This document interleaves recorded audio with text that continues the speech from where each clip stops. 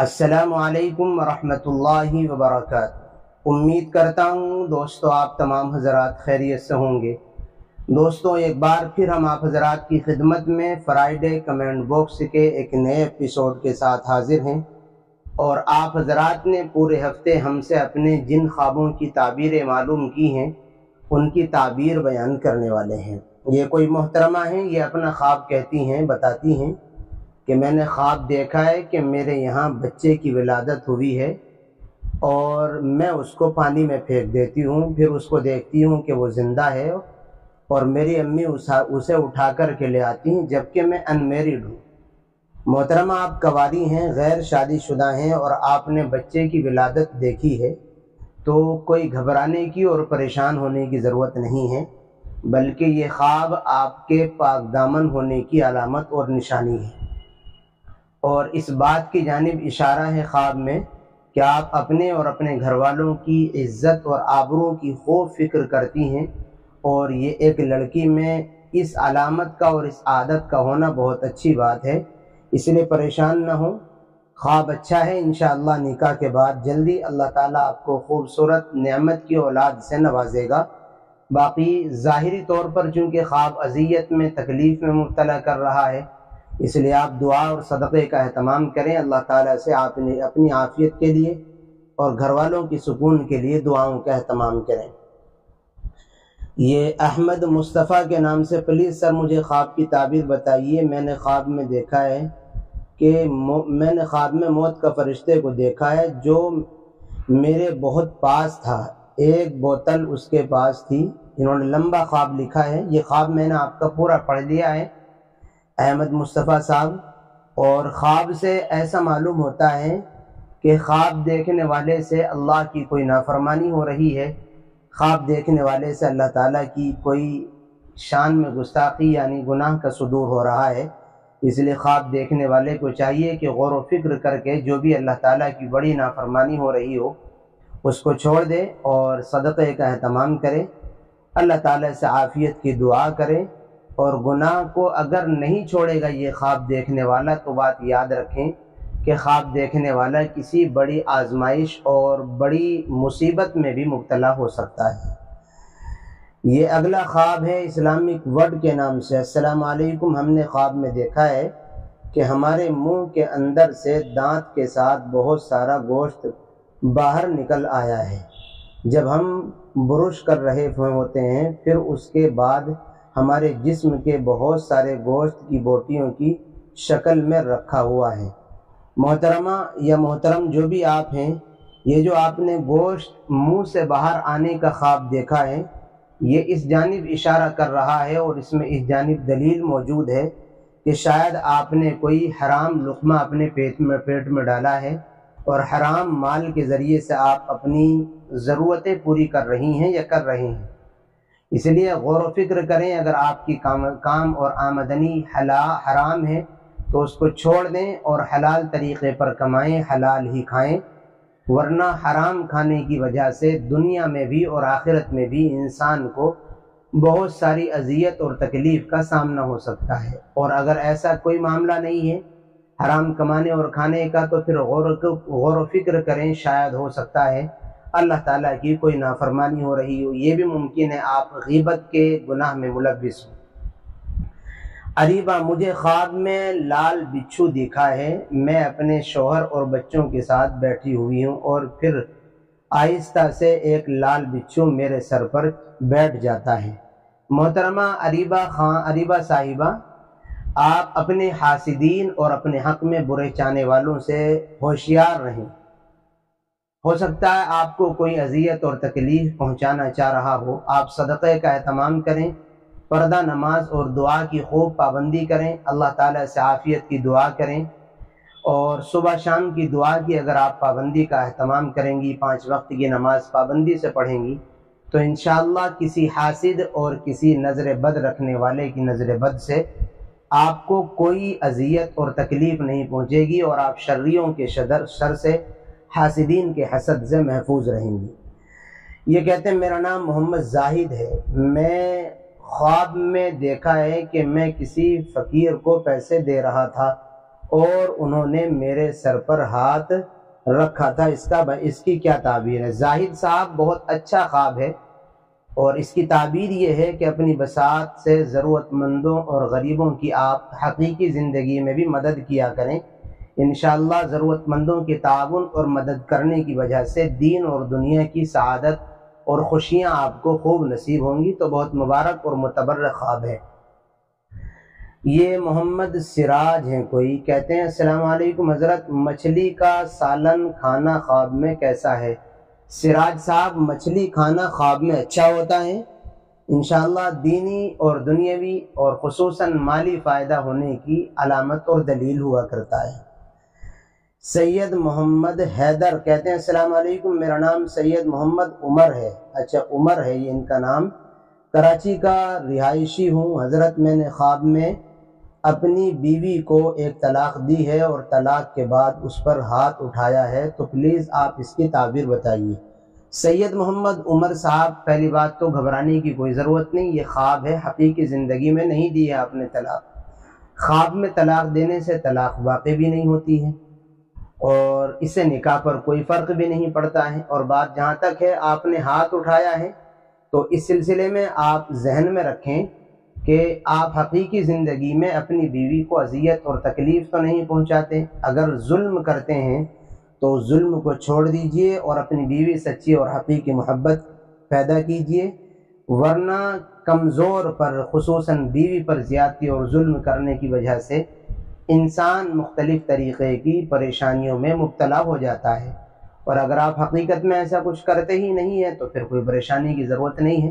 اللہ تعالیٰ سے عافیت کی دعا کریں، پانچ وقت کی نمازیں پابندی سے پڑھیں۔ اگلا خواب، السلام علیکم، میں کشمیر سے ہوں۔ میں نے خواب میں دیکھا ہے کہ مجھے پیاس لگی ہے اور میں نے دو تین گلاس پانی پی لیتی ہوں، لیکن میری پیاس نہیں بجھتی ہے۔ میں بولتی ہوں، یہ پانی ٹھنڈا نہیں ہے۔ محترمہ، ایسا معلوم ہوتا ہے، آپ کے خواب سے شاید اللہ تعالیٰ کی کوئی نافرمانی ہو رہی ہے، کسی گناہ کا صدور ہو رہا ہے۔ اگر ایسا ہے تو غور و فکر کریں کون سی اللہ کی نافرمانی ہو رہی ہے۔ اور غور و فکر کرنے کے بعد جو بھی گناہ یا اللہ کی جو بھی نافرمانی ہو رہی اس سے توبہ کریں، صدقے کا اہتمام کریں، بے پردگی سے بچیں، پردے کا اہتمام کریں، اور خوب دعاؤں کا اہتمام کریں۔ باقی زیادہ پریشان ہونے کی ضرورت نہیں ہے۔ یہ کہتے ہیں، میں شادی شدہ ہوں، خواب میں دیکھتی ہوں کہ میرے شوہر بھی موجود ہیں اور بہت پریشان ہیں اور میرے گھر والے ان سے میری طلاق لیے بغیر کسی اور سے جن کو میں نہیں جانتی ہوں، شادی کرا رہے ہیں۔ محترمہ، آپ نے یہ جو خواب دیکھا ہے کہ آپ کی پسند کیے بغیر اور اسی طرح آپ کی پہلے شوہر سے طلاق ہوئے بغیر آپ کے گھر والے آپ کی شادی کسی اور سے کروا رہے ہیں، تو یہ خواب اچھا ہے، کوئی پریشانی کی بات نہیں ہے۔ انشاءاللہ آپ کو خوشی نصیب ہوگی۔ اگر اگر حقیقی زندگی میں بھی آپ کے کوئی مسئلہ نہیں ہے یعنی صحیح چل رہا ہے، شوہر، بیوی دونوں ایک دوسرے سے خوش ہیں، تو پھر خواب شیطانی معلوم ہوتا ہے، اس کی کوئی تعبیر نہیں۔ اور اگر حقیقی زندگی میں کوئی مسئلہ چل رہا ہے، یہ تو خواب آپ نے بتایا ہے۔ تو پھر آپ اس مسئلے کو حل کر لیں، ورنہ شیطان اور نظر بد رکھنے والوں کی نظر بد سے کبھی کبھی بڑی مشکلیں کو سامنا ہو جاتا ہے۔ اور اس مسئلے کو رضامندی اور خوشی سے حل کر کے اللہ تعالیٰ سے عافیت کی دعا کریں اور اپنے شوہر سے ٹوٹ کر خوب پیار، محبت کے ساتھ زندگی گزاریں۔ یہ کہتے ہیں، آج صبح سات بجے کو میں نے خواب دیکھا ہے کہ میرے شوہر کی دوسری شادی ہو گئی ہے، تو میں بہت ڈر گئی ہوں۔ کہیں صبح کا خواب ہے، سچا تو نہیں ہے۔ محترمہ، یہ جو آپ نے دیکھا ہے اپنے شوہر کی دوسری شادی، یہ پریشان کرنے والا خواب نہیں ہے، بلکہ اس میں اس طرف اشارہ ہے کہ آپ کے شوہر آپ سے خوب پیار، محبت کرتے ہیں، لیکن آپ ذرا پاک دامنی کا ثبوت دیجیے اور آپ بھی اپنی جانب سے خوب خوب پیار اور محبت کا اظہار کیجیے اور اپنے شوہر کی خدمت کے ذریعے ان کا دل جیت لیجیے۔ باقی، خواب کے شر سے بچنے کے لیے صدقے کا اہتمام کریں، دعا کا اہتمام کریں، پردے کا اہتمام کریں۔ نماز نہیں پڑھتی تو نماز کا ضرور خیال کریں۔ یہ ہدایت خان کہتے ہیں، میں نے خواب میں دیکھتی ہوں کہ میں اپنے گھر پہ تمام لوگوں کی دعوت کی ہوں اور میں انہیں کھانا کھلا رہی ہوں۔ محترمہ دعوت کرنا، یہ لوگوں کو کھانا کھلانا، یہ اچھے اخلاق اور عادات کی علامت ہے۔ اس لیے بہت مبارک اور متبر خواب ہے۔ اس لیے اللہ تعالیٰ آپ کو ڈھیر ساری خوشیوں سے نوازے گا۔